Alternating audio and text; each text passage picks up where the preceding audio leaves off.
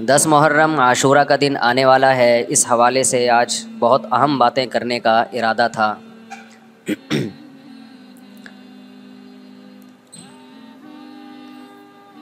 मुहर्रम में क्या करना चाहिए? करबला का वाक़ असल है क्या?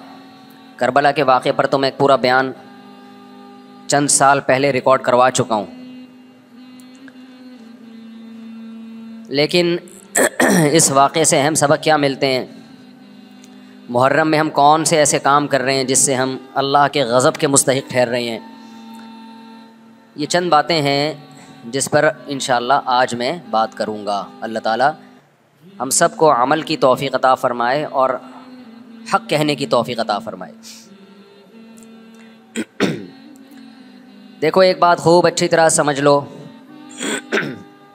इस्लाम एक हज़ार चार सौ साल पहले मुकम्मल हो चुका है। किसी वाक़ की वजह से इस्लाम को तब्दील नहीं किया जाता, बल्कि इस्लाम की रोशनी में उस वाक़े के जो तकाज़े हैं, उन पर अमल किया जाता है। हमारे यहाँ हो ये रहा है वाक़ात की बुनियाद पे मसाइल निकाले जा रहे हैं। दस मुहर्रम का दिन सैदना हुसैन इबन अली रज़ी अल्लाह की शहादत से पहले भी अजीम था। और सैदना हुसैन इबन अली रज़ी अल्लाह की शहादत के बाद भी अजीम दिन है। आज आपने एक नारा बहुत सुना होगा कि जी इस्लाम में फ़िरकावारीत नहीं है, हम किसी फ़िरके से नहीं हैं। मैं बार बार कहता हूँ कि ये बड़ा खुशनुमा नारा है, जो सुनने में बहुत अच्छा लगता है। कुछ बातें सुनने की हद तक बहुत अच्छी होती हैं, लेकिन प्रैक्टिकल लाइफ में उनकी वैल्यू बिल्कुल भी नहीं होती। जब आप प्रैक्टिकल लाइफ में आते हैं तो फिर आपको ये फ़ैसला करना पड़ता है कि आप किस फ़िरक़े से ताल्लुक़ है आपका। आप सुन्नी हैं, शिया हैं, मतज़िला हैं, मुरजिया हैं, कदरिया हैं, नासिबिया हैं। क्या है आपका फ़िरका? ये कह देना आसान है, मेरा कोई फ़िरका नहीं है। इस पर सबसे बड़ा इश्काल ये होता है, ये मैं इसलिए फ़िरके की बात कर रहा हूँ कि आपको भी तय करना पड़ेगा कि आप या तो शिया बन जाओ भाई, या सुन्नी बन जाओ। एक तरफ़ हो जाओ आप। मुहर्रम में शिया बने हुए होते हैं, रमज़ान में सुन्नी बने हुए होते हैं रबी अव्वल में बरेलवी बने हुए होते हैं। तो पता ही नहीं चलता कि टिकता ही नहीं है किसी एक जगह। इस बात में दो राय नहीं हो सकती कि सईदना हुसैन रज़ी अल्लाह तु को जो करबला में शहीद किया गया, ये कायनात का बदतरीन जुल्म था। जिसने आपकी गर्दन मुबारक पे तलवार रखी उसकी बदबख्ती में दो राय नहीं हो सकती। बहुत ही कोई शकी और बदबक जो नवास रसूल सल्लल्लाहु अलैहि वसल्लम के कत्ल की तरफ़ बढ़ा। बहुत ही कोई बदबक और बदनसीब जो कोफा के गवर्नर इबन ज़ियाद के कहने पर नवासा रसूल से लड़ने के लिए निकला। जो इस जुल्म को जुल्म नहीं मानता वो भी अपने आप को जहन्नम में जहन्नम में जा, जाने के लिए तैयार कर रहा है। फिर करबला में एक बड़ा जुल्म यह हुआ कि सिर्फ़ सईदना हुसैन इबन अली को शहीद नहीं किया गया, आपके साथ जितने मर्द थे, सबको शहीद कर दिया गया। लेकिन हमें पैगंबर सल्लल्लाहु अलैहि वसल्लम और सहाबा की सीरत में क्या मिलता है? मैं एक आयत से आपको समझाता हूँ। मुशरकिन मक्का हज़रत इब्राहीम सलाम की के नसब में होने पर और आपसे मोहब्बत पे बड़ा फ़ख्र किया करते थे। कि हम इब्राहिम की औलाद में हैं, हम इब्राहिम के दीन पे हैं। अल्लाह ने क्या फरमाया रसूलुल्लाह सल्लल्लाहु अलैहि वसल्लम से? कि इन अवलन्नासी भी इब्राहिम लल्लदीन तबअहु ए नबी, आप इनसे कह दीजिए, इब्राहिम से मोहब्बत के खाली पीली के दावे मकबूल नहीं हैं। इब्राहिम के ज़्यादा हकदार वो हैं जो इब्राहिम सलाम की इतबा करते हैं। और ये पैगंबर और सहाबा, ये इब्राहिम सलाम के दीन को फॉलो करते हैं। और तुम इब्राहिम के दीन को फॉलो नहीं कर रहे। उनसे मोहब्बत के दावेदार हो। तो खाली मोहब्बत के दावेदारी अल्लाह के यहाँ मकबूल नहीं है। अल्लाह के यहाँ वो मोहब्बत की दावे मकबूल हैं जिसमें आप महबूब को फॉलो कर रहे हो। सैदना हुसैन इबन अली रज़ी अल्लाह तु जो जन्नत के जवानों के सरदार हैं, आपसे मोहब्बत का दावा उस वक्त मकबूल होगा जब आप सईदना हुसैन की सीरत को फॉलो करेंगे। रोना, पीटना, मातम करना ये सईदना हुसैन और अहले बैत की सीरत नहीं है। सबर करना, जालिम के सामने डट जाना, जान के खौफ से अपनी पॉलिसियों से पीछे ना हटना, ये सईदना हुसैन इबन अली रज़ी अल्लाह की सीरत है, जो आज हमें कहीं भी नज़र नहीं आती। तो हमने भाई देखना है सहाबा का तर्ज अमल किया था। आप बताओ, सहाबा को सईदना हुसैन से मोहब्बत थी या नहीं थी? क्या गम का पहाड़ टूटा होगा जब इतला मिली होगी कि सईदना हुसैन इबन अली और आपके असहाब और अहले बैत को सबको करबला में शहीद कर दिया गया है? क्या क्यामत गुजरी होगी? कोफा से एक शख्स आया ना, अब्दुल्ला बिन उमर से पूछने लगा, जू मारने पर दम का मसला। उन्होंने फरमाया, तुमने पैगंबर के नवासे को कत्ल कर दिया। और मसला ये पूछ रहे हो कि जू मारने पर दम आएगा कि नहीं आएगा? एक तरफ़ तुमने पैगंबर के नवासे को कत्ल कर दिया, करबला में। और अब हमसे आके मसला पूछते हो, जू मारना जायज़ है या नहीं है? साहबा के यहाँ ये गम, कम गम नहीं था। देखो, हज़रत मुआविया रज़ी अल्लाह तु के हाथ पे भी हज़रत हुसैन ने बैत नहीं की, लेकिन बगावत भी नहीं की। क्यों? बगावत से फितने का अंदेशा था। हज़रत हसन, जो हज़रत हुसैन के बड़े भाई थे, उन्होंने सईदना मुआविया रज़ी अल्लाह तु के हाथ पे बैत की और इस इख्तलाफ को हमेशा के लिए, अपने, अपनी कोशिश के मुताबिक हमेशा के लिए ख़त्म कर दिया। ख़त्म हुआ नहीं हुआ एक अलग बहस है, लेकिन हज़रत हसन का मकसद क्या था? कि मुसलमानों की दो जमातों को मैं आपस में लड़ता हुआ नहीं देख सकता। लोगों ने कहा, आप खिलाफत के हकदार हैं। आपने फरमाया, मैं दस्तबरदार होता हूँ सईदना मुआविया के हक में। हज़रत हसन बैत हो गए हज़रत मुआविया से। और ये इख्तलाफ को क्या कर दिया? ख़त्म। हज़रत हुसैन बैत नहीं हुए, लेकिन हज़रत हुसैन ने बगावत भी नहीं की।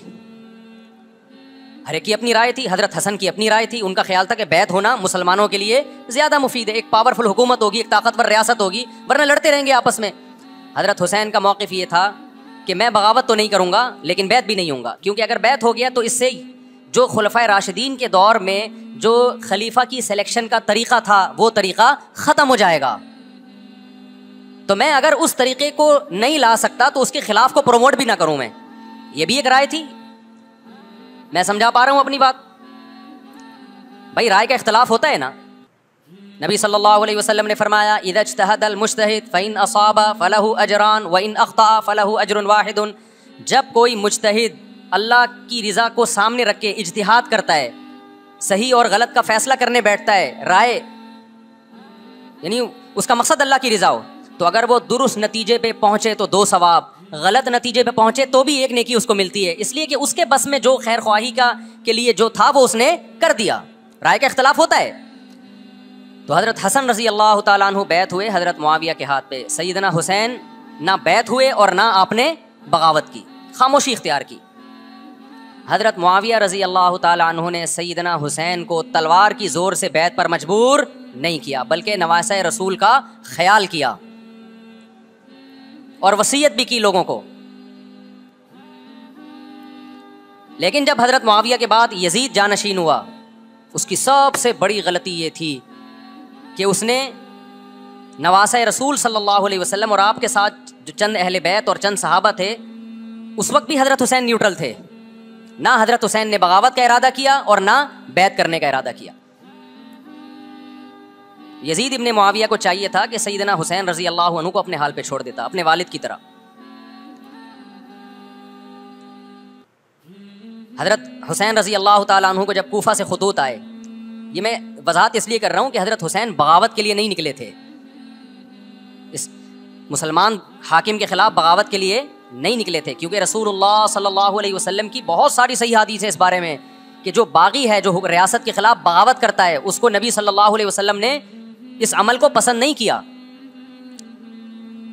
तो हज़रत हुसैन रज़ी अल्लाह तु को कोफा से खतूत आए कि यहाँ सारे के सारे लोग आपके हाथ पे बैत करने के लिए तैयार हैं। ज़ाहिर है जब किसी इलाके के लोग दारुल खिलाफा हो और सब बैत होने के लिए तैयार हों तो फिर आपका जाना ये बगावत का अमल नहीं कहलाता। हज़रत हुसैन रज़ी अल्लाह तु अहले बैत के साथ निकले, करबला में जब पहुँचे, मशहूर वाक़ आप बीसियों दफ़ा सुन चुके हैं वहाँ जाके आपको इतला हुई कि वो ख़बर गलत थी और उबैदुल्ला बिन ज़ियाद ने एक पूरा लश्कर भेजा सैदना हुसैन रज़ी अल्लाह तु को मजबूर करने के लिए कि मेरे हाथ पे आप ज़बरदस्ती बैत हो जाएँ। हज़रत हुसैन रज़ी अल्लाह तु ने मुतालबे रखे कि या तो मुझे वापस जाने दिया जाए और अगर बैत करना ही है तो मैं दिमिश में अमीर के हाथ पे जाके बैत करूँगा।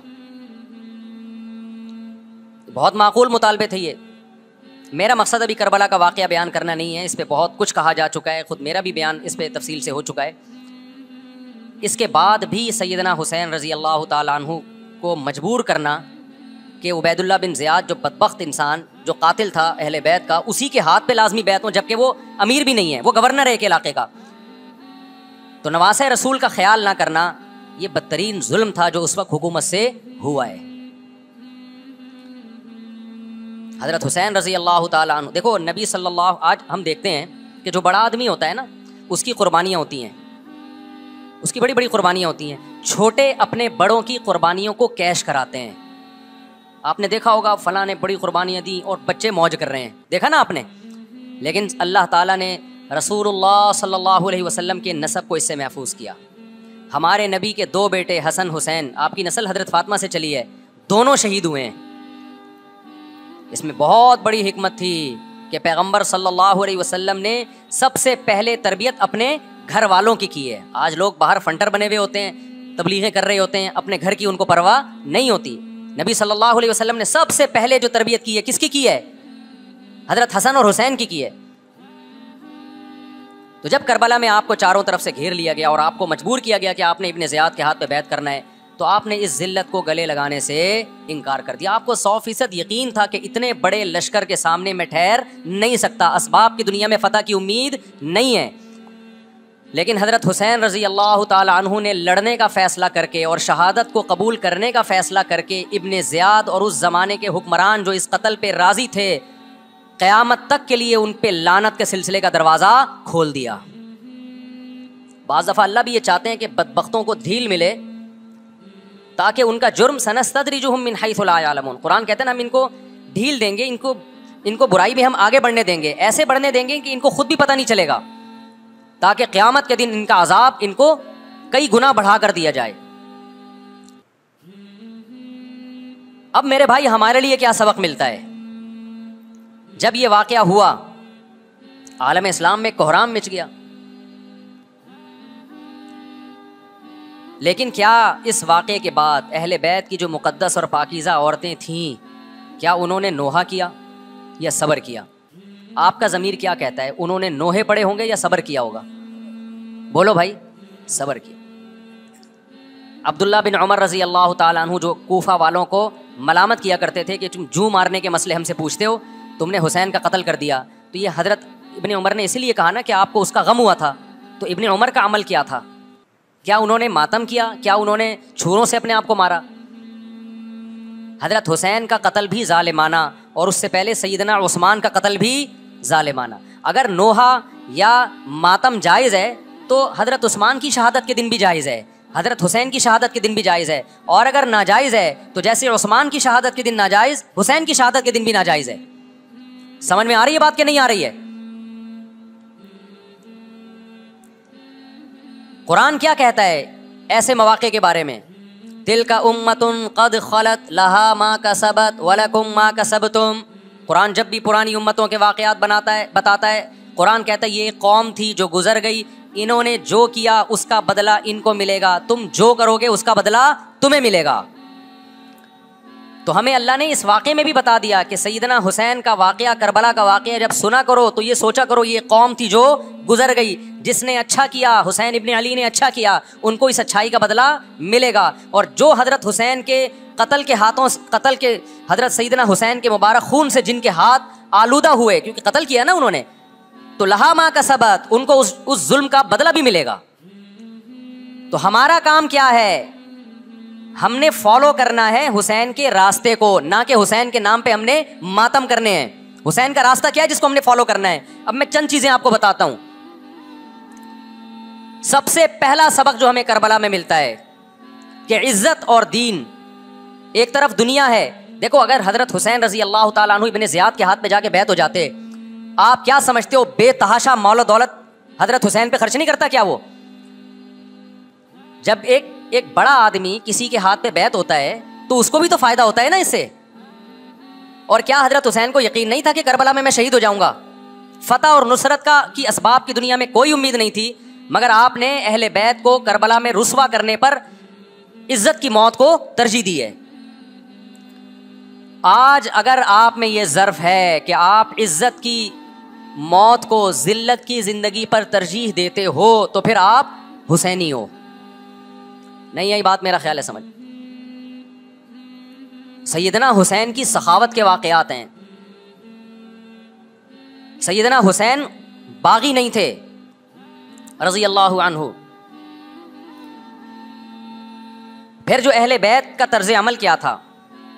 मुहर्रम में क्या क्या हो रहा है मैं आपको बताता हूँ।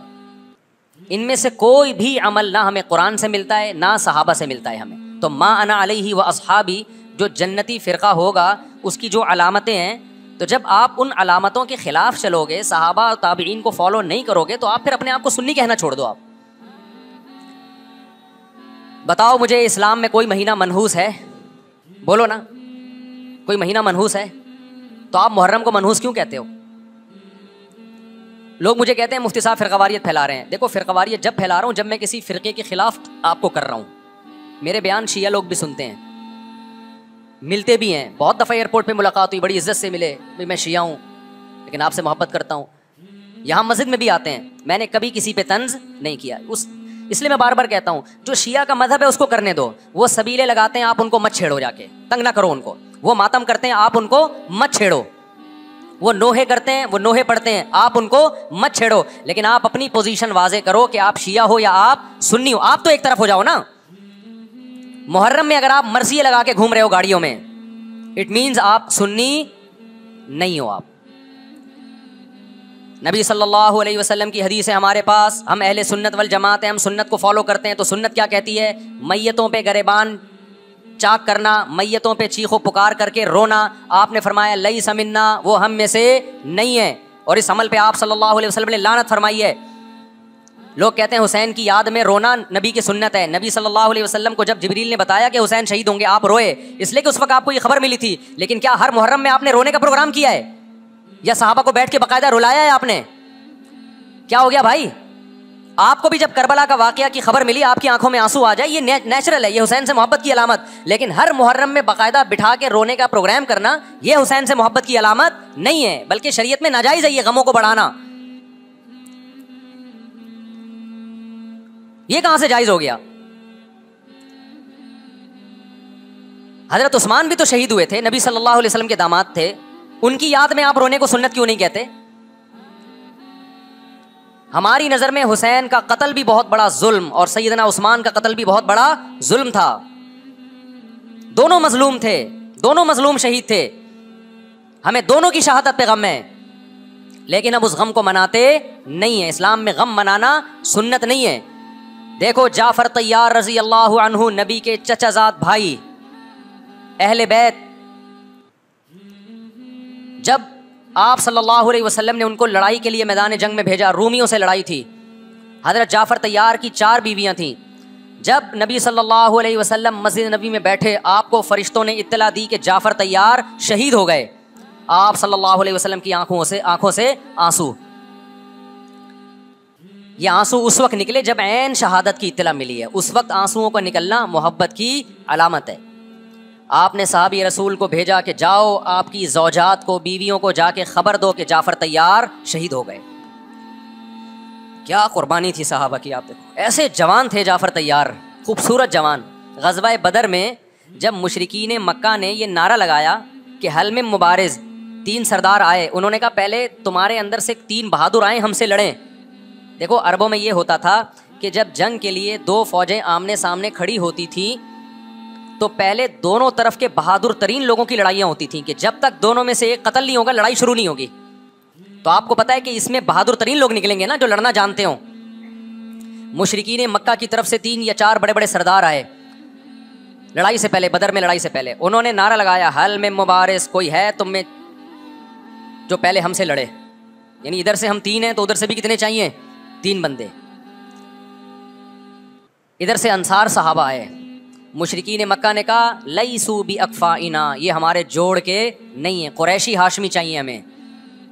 हमारे नसब के लोग होने चाहिए। तो इधर से नबी सल्लल्लाहु अलैहि वसल्लम ने हज़रत अली को भेजा और हज़रत जाफ़र तैयार को भेजा। जिन साहबा को भेजा, इनमें हज़रत जाफ़र तैयार भी थे। हज़रत जाफ़र तैयार रज़ी अल्लाह तु और सैदना अली मुकाबले में गालिब आ गए।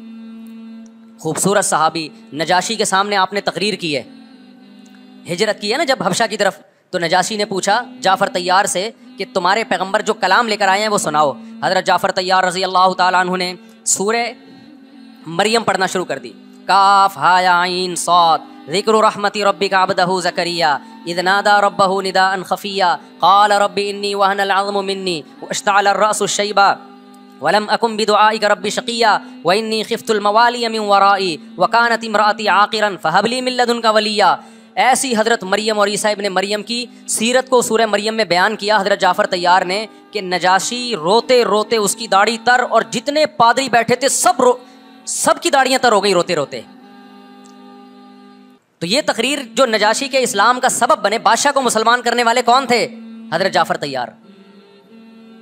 और आपके छोटे छोटे बच्चे, चार जवान बीवियाँ हों छोटे छोटे बच्चे हों, और ऐसे में मैदान जंग में लड़ते हुए शहीद हो जाएँ तो पैगंबर और साहबा पे क्या क़्यामत टूटी होगी?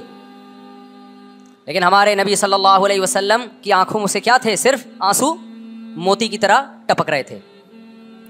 और आप साहबा को इतला दे रहे थे कि जाफ़र तैयार शहीद हो गए और जाओ इनके घर वालों को बता के आ जाओ। कितनी बड़ी कुर्बानी है या नहीं है? जब खबर देने वाला आपकी अजवाज को बता के आया कि जाफ़र तैयार शहीद हो गए तो आपके घरों से खातन के रोने की आवाज़ें आई। आप सल्लल्लाहु अलैहि वसल्लम ने फरमाया, इनसे बोलो कि अपनी आवाज़ को पस्त करो। फिर चीखो पुकार की आवाज़ आई। तो आपने फरमाया कि अगर दोबारा चीखो पुकार की आवाज़ आए तो इनके मुँह पे खाक फेंक दो। वो शहीद की बेवा थी और शहीद भी कितने मुकद्दस, उनको भी नबी सल्लल्लाहु अलैहि वसल्लम ने नोहा करने की इजाज़त नहीं दी। उस दिन जिस दिन गम पहुँचा है, उस दिन भी चीखो पुकार की इजाज़त नहीं दी है। तो आप बताओ, अगले साल उस तारीख को चीखो पुकार की कैसे इजाज़त मिल जाती? नहीं आई मेरा ख्याल बात समझ में। जब गम पहुँचा है, उस वक्त चीखने चिल्लाने की इजाज़त नहीं है। छोटे छोटे यतीम बच्चे, हज़रत जाफ़र तैयार के। छोटे छोटे यतीम बच्चे, कितना गम होता है। जब छोटे छोटे बच्चे उनका बाप दुनिया से चला जाए, कितना तरस आता है उनके ऊपर। तो हमारे नबी को भी उन यतीम बच्चों पे भी तरसाया उन बेवाओं पे भी तरसाया लेकिन ना नबी सल्लल्लाहु अलैहि वसल्लम चीखो पुकार करके खुद रोए और ना आपने उनकी अजवाज को रोने की इजाज़त दी है। समझ में नहीं आ रही मेरा ख्याल है बात? मेरा मकसद शीयों पे तंज करना नहीं है। उनका जो मज़हब है, उनको उस पर चलने दो। मेरा मकसद है आप अपनी पोजीशन वाजे करो कि आप इधर हो या उधर हो। किसी किसी को तंग मत करो, ना किसी पे फतवे लगाओ कुफर इस्लाम के। ना किसी को जहन्नमी करार दो। अपनी पोजीशन आप फैसला करो कि आप अगर उधर जाना तो पूरे उधर चले जाओ फिर। आधा तीतर आधा बटेर वाला मामला मत करो। वो उनका मज़हब है भाई, उनके उलमा उनको बताते हैं कि मुहर्रम में काले कपड़े पहनने हैं मुहर्रम में मातम करना है, मुहर्रम में को मनहूस समझना है, उसमें शादी बयानी करना, उनके उलमा उनको बताते हैं, उनको चलने दो इस पर। दुनिया में बहुत से फ़िरके हैं, बहुत से मज़हब हैं। हम किसी को ना ख़त्म कर सकते हैं, ना किसी के खिलाफ नफरत पैदा कर सकते हैं। इससे कोई चीज़ हासिल नहीं होगी।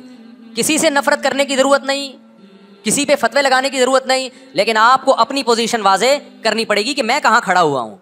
अगर आप सुन्नी हो तो फिर अहले सुन्नत वल जमात, सहाबा ताबीन को फॉलो करते हैं, हदीस को फॉलो करते हैं। और हदीस में हमें मातम करना, नोहा करना, गरेबान चाक करना, इसकी परमिशन नहीं है, बल्कि इससे रोका गया इस अमल को हराम और नाजायज़ करार दिया गया है। बात आ रही है समझ में? बाकी जो शिया हजरात करते हैं, हमारे दोस्त हैं शिया, मैं मज़ाक में नहीं कह रहा, मिलते हैं हमसे। मैं कभी उनसे मज़हब के टॉपिक पे बात नहीं करता। ना उनको कभी छेड़ता हूँ कि आप ये क्यों कर रहे हो, ये क्यों नहीं कर रहे? भाई, उसका मज़हब है, वो उसका फिरका है जो करने दो उसको। हम नहीं करते। क्योंकि हम अहले सुन्नत वल जमात में। समझ में आ रही बात क्या नहीं आ रही? फिर रबीउल अव्वल का महीना आएगा, उसमें भी आप अपनी पोजीशन वाजे करो। क्या आप इधर हो या उधर हो? दो फिरके हैं, देवबंदी, बरेलवी। मैं नहीं कह रहा कि कौन जन्नती, कौन जहन्नमी, लेकिन बर सग़ीर में जिनको देवबंदी कहा जाता है, वो नज़र न्याज तीजे चालीस में के कायल। बोलो, नहीं है। उनकी, ये उनकी किताबों में लिखा हुआ है, वो इसके कायल नहीं अगर कोई बुज़ुर्ग उनमें कायल गुजरा भी है तो वो उसका ज़ाती तफर्रुद है। उसको ने फॉलो नहीं किया। उसको उनकी इश्तिहादी गलती करार दिया है। रबी अव्वल में जुलूस निकालना, या मज़ार बनाना, या मज़ारों पे जाना, इस नीयत से कि वहाँ जाके हम कोई कवाली पढ़ेंगे, या कुछ भी हमारे यहाँ कब्रस्तान जाना सिर्फ़ इसलिए है कि आखिरत की याद ताज़ा हो। बस, इसके अलावा और कोई कॉन्सेप्ट नहीं है। हमारे यहाँ कबर एक बालिश से ज़्यादा ऊँची बनाना जायज़, बोलो ना, नहीं है। कबर पक्की करना जायज़ नहीं है। तीजे चालीसवें करना जायज़, बोलो, नहीं। आज एक साहब आए, कहने लगे, मेरी सास का चालीसवा है। फजर में कहने लगे मुझे। कह रहे, मैं नहीं गया तो बड़ा मसला हो जाएगा। मैंने कहा, भाई, एक फैसला करो ग्रीन चैनल या वाइट चैनल एक तरफ़ हो जाओ भाई. क्योंकि वाइट चैनल में ये जायज़ नहीं है। न चालीसवा नतीजा है। अब लोग मज़ाक उड़ाते हैं, मर गया मरदूद ना फातिहा, ना दरूद। भाई, कुछ भी कहते रहो तो फिर पूरे उधर को हो जाओ। या तो पूरे वाइट हो जाओ, या पूरे क्या हो जाओ? पूरे ग्रीन हो जाओ। फिर तीजा भी करो, चालीसवा भी करो, बरसी भी करो। और फिर उसके बाद झंडे भी लगाओ हरे रंग के। मैं नहीं कह रहा देवबंदी सही है या बरेलवी सही है। देखो, मैं ये बहस नहीं कर रहा, मेरी बात को गलत ना लेके जाना। मैं कह रहा हूँ, आप अपनी पोजीशन वाजे करो, सही गलत तो अगला मरहला है। आप क्या हो? आपको तो ये नहीं पता चल रहा। आप रबी अव्वल में हरे झंडे लेके घूम रहे हो। रमज़ान में आप वाइट चैनल बने हुए हो। मुहर्रम में आप ब्लैक चैनल बने हुए हो। तो पता ही नहीं चल रहा तो है क्या भाई? जब तिहत्तर फिरकों में एक जन्नती है तो एक को फॉलो करो ना, जिसको जन्नती समझते हो। अगर आप समझते हो कि ब्लैक चैनल या शिया फिरका जन्नती है तो पूरे शिया हो जाओ भाई। अगर आप समझते हो बरेलवी फिरका जन्नती है तो पूरे बरेलवी हो जाओ। तो जिसको समझते हो, वो बन जाओ, लेकिन पूरे बनो, अधूरे मत बनो आधा आधा ना लो। बात समझ में आ रही है? मैं फिर बता रहा हूँ, ना मैं किसी को जन्नती कह रहा हूँ, ना जन्न, ना जहन्नमी। मैं ये नहीं कह रहा देवबंदी जन्नत में जाएँगे या बरेलवी जाएँगे या शिया जाएँगे। ये तो अल्लाह फैसला करेगा। हम तो वो करेंगे जो हमारी खोपड़ी में आ रहा है। हमारी खोपड़ी में ये आ रहा है कि जिसको भी करो तो एक को करो पूरा, ताकि एक तरफ़ हो जाओ। आधे तीतर, आधे बटेर, मत बनो आप। और दूसरे को छेड़ो भी नहीं। छेड़ने की भी ज़रूरत नहीं है। कोई जो कर रहा है क्या भाई, उसका मज़हब है। देखो, हिंदू मंदिर में जाता है ना, हमारी राय के मुताबिक सही कर रहा है, गलत कर रहा है? गलत कर रहा है। लेकिन हम छेड़ते हैं क्या? इस्लाम ने इजाज़त दी उसको छेड़ने की? कि हिंदू जा रहा है, उसको पकड़ के ला, क्यों जा रहा है भाई? इस्लाम बोला भाई, लकुम दीन हुकुम वली दीन तुम्हारे लिए, तुम्हारा दिन हमारे लिए हमारा दिन लाइक रहा, फिर दीन दीन में ज़बरदस्ती नहीं है। जो जो कर रहा है उसको करने दो। तभी इस्लामी तारीख में कोई एक मंदिर भी हमारे इल में नहीं है कि उसमें हिंदुओं पे पाबंदी लगी हो कि मंदिर नहीं जा सकते। जब तक इस्लामी हुकूमतें रही हैं, हिंदुस्तान में हज़ार साल मुसलमानों ने हुकूमत की है। अगर हिंदुओं को मंदिर जाने से रोक देते तो आज ये मंदिर खत्म होते। इस्लामी हुकूमत जब खत्म हुई है तो भी मंदिर, लाखों की तादाद में मंदिर थे। इस्लाम मस्जिद जाने का हुक्म देता है या चर्च जाने का? बोलो, मस्जिद। चर्च जाने को गलत समझता है, क्योंकि वहाँ गैरुल्ला की, ईसा इबन मरियम की इबादत हो रही है। लेकिन क्या इस्लाम आपको परमिशन देता है कि कोई ईसाई चर्च जा रहा हो तो आप उसको रोको? कि तू क्यों जा रहा है मस्जिद में आ। इजाज़त देता है? या इस्लाम ये कहता है कि उससे बदतमीजी शुरू कर दो आप। बोलो, क्या हो गया? आपको सबक याद करा रहा हूँ मैं। बदतमीजी शुरू कर दो। या इस्लाम ये इजाज़त देता है कि उससे अच्छा सलूक ना करो? कतन इजाज़त नहीं, बल्कि कुरान तो कह रहे हैं इन अल्लाह युहिब्बुल जो गैर मुस्लिम तुमसे लड़ नहीं रहे मैदान जंग में। उनसे तुम्हें अच्छा सलूक करना पड़ेगा, क्योंकि अल्लाह अच्छा सलूक करने वालों को पसंद करता है। साहब कराम गैर मुस्लिमों को भी हदिये दिया करते थे। नबी सल्लल्लाहु अलैहि वसल्लम ने यहूदियों को भी हदिये दिए। तो जो मज़हब इस्लाम की तरफ़ मंसूब नहीं है, जब हमें उनसे अच्छे सलूक का हुक्म है तो जो मज़हब इस्लाम की तरफ़ मंसूब हैं कत नज़र इससे कि वो इस दावे में सच्चे हैं या झूठे, ये तो बहस एक अलग है, लेकिन नस्बत किसकी तरफ़ कर रहे हैं? इस्लाम की तरफ़। तो हमें उनसे बदतमीजी, बदसलूकी की कहाँ से इजाज़त होगी? तो मैं नहीं कह रहा कि आप शिया बरेलवियों से दुश्मनी करना शुरू कर दो। उनकी दावतें अटेंड ना करो, उनसे कारोबार छोड़ दो, या उनको जा जाके तंग करो क्यों सबील लगा के बैठे हो, क्यों मातम कर रहे हो। ये काम मत करो आप। हमारा मुल्क इस फिरकावारियत का मुतहमल नहीं है से फसाद फैलता है। लेकिन अपनी पोजीशन आप वाजे करो। एक लकीर है, आप खींच दो। अगर कोई शख्स आपके सामने साहबा को बुरा भला कहता है, आप बोलो, भाई, ये मेरी बाउंड्री क्या हो रही है? क्रॉस। मेरे सामने आपको उन बुज़ुर्गों के खिलाफ बोलने की इजाज़त नहीं है जिनसे मुझे अकीदत है। अगर ये काम आपने किया तो हमारी और आपकी राहें अलग अलग आपका जो मज़हब है भाई, आप बंद कमरे में, आपके इमाम बारगाह में, आपके आपके मस्जिदों में, या जहाँ भी है, वो वो आपका निजी मामला है। हमारे सामने आपने कोई ऐसी बात नहीं करनी जो हमारे अकीदे के खिलाफ हो। तो आपस में दोस्ती रहेगी। अब देखो, ईसाई आपसे मिलता है, आप गपशप करते हो, खाना खाते हो, लेकिन ईसाई बार बार बोले, मैं आपके नबी को नहीं मानता, मैं आपका नबी आप बोलेगा, भाई तू नहीं मानता तो हमने कब कहा के मान तू? लेकिन मेरे सामने बार बार क्यों कह रहे हैं कि मैं तेरे नबी को नहीं मानता?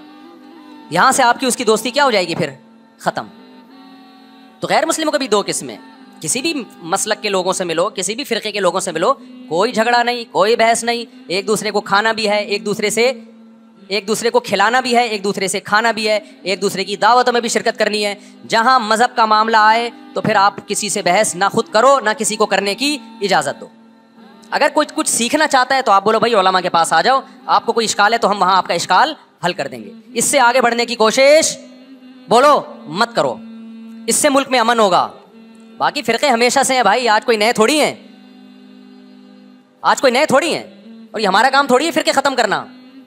ये तो ईसा इबन मरियम जब नाजिल होंगे, हज़रत मेहदी आएँगे, वो तलवार की ताकत से खत्म करेंगे। उनके पास ये अथॉरिटी होगी कि वो फिर को खत्म करें। आपने ये करना है कि दूसरे के मसलक को छेड़ना नहीं है और अपना छोड़ना नहीं है। मसला आपके साथ ये हो रहा है कि दूसरे को छेड़ भी रहे हो और अपना छोड़ भी रहे हो।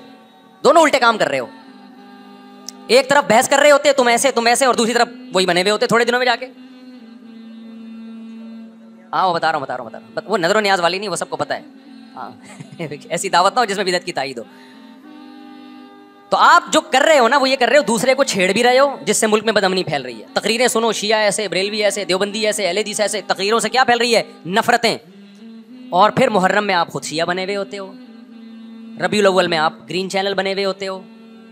और रमज़ान में आप वाइट चैनल बने हुए होते हो। सऊदी अरब में सारे वाइट हो जाते हैं जाके। सऊदी अरब जो भी जाता है, सारा वाइट चैनल।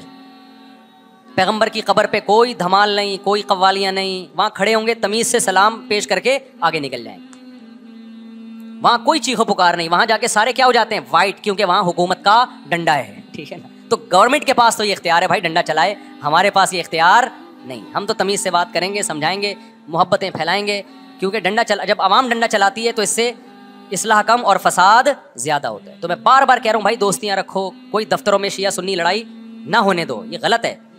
मोहब्बतें फैलाओ, लेकिन मसलक को छोड़ना नहीं है। जब कोई आपसे कहे, मुहर्रम में ये काम करो, बोलो, भाई, हम चूँकि अहले सुन्नत वल जमात में से हैं, हम चूँकि सुन्नी हैं, लिहाजा हमारे यहाँ कोई महीना हमारे मज़हब के मुताबिक मनहूस नहीं है। फिर कोई आपको इसरार करे, नहीं, ये नहीं ये नहीं, ये। आप बोलो, भाई, हम तुम पे अपना मसलक थोप रहे हैं क्या? तुम तुम जुलूस निकालते हो, तुम मातम करते हो, हम तो नहीं तुम्हें रोकते आके, बल्कि गवर्नमेंट तुम्हें तहफुज देती है। सिक्योरिटी देती है गवर्नमेंट तुम्हें। तो जब हम अपना मसलक तुम पे नहीं थोपते तो तुम अपना मसलक हम पे क्यों थोप रहे हो भाई? तो हम मुहर्रम में भी शादी करेंगे, रबी अव्वल में भी करेंगे, सफ़र में भी करेंगे, रमज़ान में भी करेंगे। हमने तो चार करनी है, हम तो हम महीनों के हिसाब से शुरू कर दें तो फिर हमारे तो बड़े मसले हो जाएँगे भाई। समझ में आ रही बात की नहीं आ रही? हज़रत जाफ़र तैयार अहले बैत में से थे, कितनी सौजात थी? चार थी। हज़रत अली की कितनी थी एक वक्त में? हज़रत फातिमा की दुनिया से जाने के बाद। चार थी। ये भी है सुन्नत में। निकाह को फ़रोग दो, ये अहले बैत का तरीका है, ताकि सोसाइटी में जिना कम हो, बेवा तलाक याफ्ता औरतों को ठिकाना मिले। खैर तो अब आप, मैं बात समेट के ख़त्म कर रहा हूँ।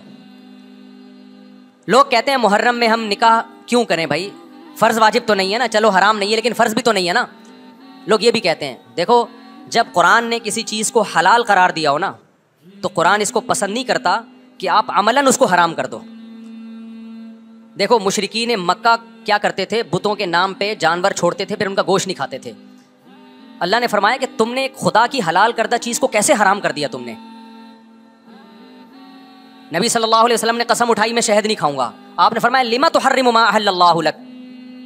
ए नबी, जो चीज़ अल्लाह ने आपके लिए हलाल कर दी, आप कैसे अपने ऊपर हराम कर रहे हैं? इससे पता चलता है कि अगर आप मुहर्रम में निकाह करना चाहते हैं, लेकिन आप ये सोच के डिले कर देते हैं कि भाई इस महीने में लोग निकाह को बुरा समझते हैं तो ये डिले करना आपके लिए नाजायज़ होगा। क्योंकि लिमा तो हर का अल्लाह ने जिस चीज़ को तुम्हारे लिए हलाल किया, तुमने किस दलील की बेस के पर अपने ऊपर पाबंदी लगाई है उस पर? एक तो है ना, किसी को शादी का ख्याल ही सफ़र में आ रहा है रबी अव्वल में आ रहा है, वो तो एक अलग बात है। लेकिन उसका निकाह मुहर्रम में होना था। सिर्फ़ मुहर्रम की वजह से वो डिले कर रहा है कि जी मैं रबी अव्वल में लेके जाऊँगा। ये डिले करना कुरान और सुन्नत पे ज़्यादा है या नहीं है? ये अल्लाह के हलाल को अमलन हराम करना है या नहीं है? नहीं यही बात समझ में।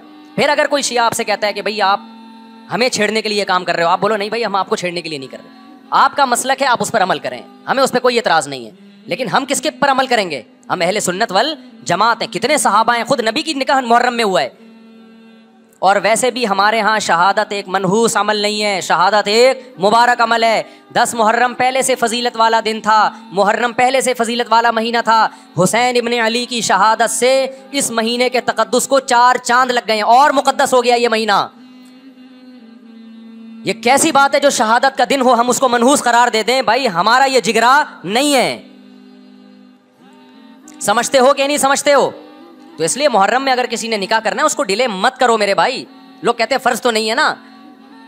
आप अगर उसके नहूसत, मनहूस होने की वजह से डिले कर रहे हो तो फिर आप पे फ़र्ज़ होगा होगा करना। क्यों? इस आयत की रोशनी में, लिमा तो हर रिमुमा अहल्लाका है नबी, जिस चीज़ को अल्लाह ने हलाल करार दिया, आप किस दलील की बेस पे उसको अपने ऊपर हराम करते हैं? समझते हो कि नहीं समझते?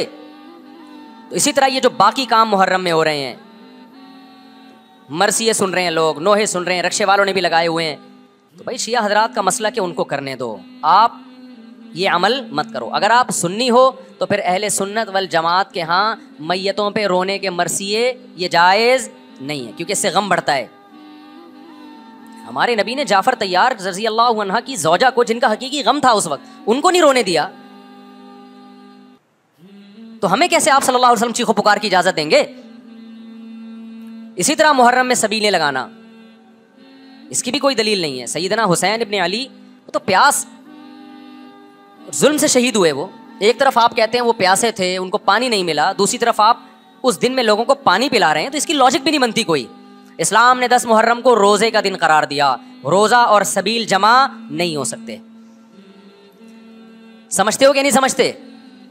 आप कह सकते हैं किसी को पानी पिलाने पर कौन पाबंदी लगा सकता है। पानी पिलाओ भाई पूरे साल। स्पेसिफिक इन दिनों में क्यों पिला रहे हैं आप? तो जो शिया हजरात हैं, उनका मसलक है, उनको करने दें। मैं बार बार इसलिए कह रहा हूँ, ऐसा ना छेड़छाड़ शुरू कर दे जाके। पहले ही मुल्क में लड़ाइयाँ बहुत हो रही हैं, दोबारा एक नई जाके पता यहाँ पे सबील लगी हुई है, जाके उनको छेड़ना शुरू कर दो, सबील क्यों लगा? छेड़ने की इजाज़त नहीं है किसी को। आप ना लगाएँ, ना पिए।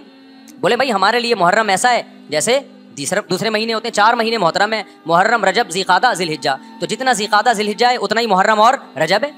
तो जैसे उन महीनों में नॉर्मल रहते हो, इसी इनमें भी हमने ऐसे ही रहना है। समझते हो क्या नहीं समझते हो?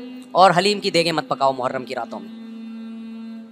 हलीम खा सकते हो जब चाहो। इस खास इन दिनों में, और वैसे भी जो लोग पूरी पूरी रात हलीम के देगड़े में घोटे लगाते हैं, सुबह रोज़ा नहीं रखते हो क्या ख्याल है? जब आप पूरी रात देगड़े में घूमते रहोगे, देखा नहीं है पूरी रात देख के अंदर घूमते रहते हैं, जैसे मौत के कुएँ में नहीं, बाइक चलाता बंदा। तो सुबह रोज़ा रखेगा ऐसा आदमी? तो ये सारी चीज़ें आपको उस काम से रोकती हैं जो सुन्नत से साबित। तो अल्लाह ताला हमें मुहर्रम में वो कुछ करने की तोफ़ी अता फ़रमाएँ, जिसकी हमें अल्लाह, उसके रसूल और साहबा ने परमिशन दी है। और उन तमाम बातों से अल्लाह हमें बचने की तोफ़ी अता फ़रमाए, जिससे अल्लाह, उसके रसूल और साहबा ने हमें बचने का हुक्म दिया है। अल्लाह ताला समझने की अमल की तोफ़ी अता फ़रमाए, वमा अलीना इल्लल बला।